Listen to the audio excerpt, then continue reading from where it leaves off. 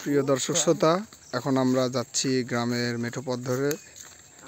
আমাদের এদিকে বাইরে অনেক গরম, কিন্তু আমরা যে পথ দিয়ে যাচ্ছি, মনোরম পরিবেশ, ঠান্ডা বাতাস বাতাস যদিও একটু কম, তারপর অনেক ভালো লাগতেছে। আপনারা দেখতে পাচ্ছেন চারিদিকে অনেক অনেক গাছ। যেটা আমরা যে আনন্দটা পাচ্ছি, শহরের লোকজন এই আনন্দটা পায় না। বিকালবেলা আমরা বন্ধু বান্ধব মিলে বের হয়েছি গ্রামের মেঠো রাস্তার পথ ধরে।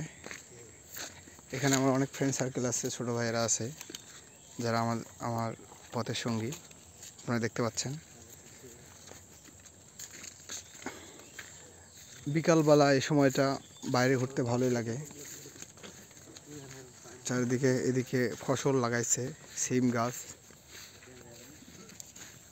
কোথা? এটা আমাদের এদিকে বলে কোথা?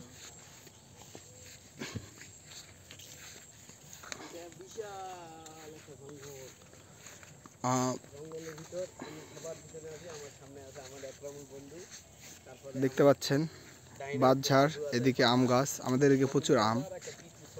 যেদিকে যাব খালি আম গাছ আর আম গাছ। আমার কি পরিচয় দিলেন? আমার ছোট ভাই রহিম। আছে জি সকলকে ধন্যবাদ।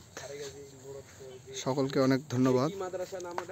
আমাদের সঙ্গে সময় দেওয়ার জন্য এবং সুন্দর একটি মুহূর্ত, সুন্দর একটি সময়, সুন্দর একটি পথ উপভোগ করার জন্য। সকলকে অসংখ্য ধন্যবাদ। আমরা আরও একটু সামনে যাব।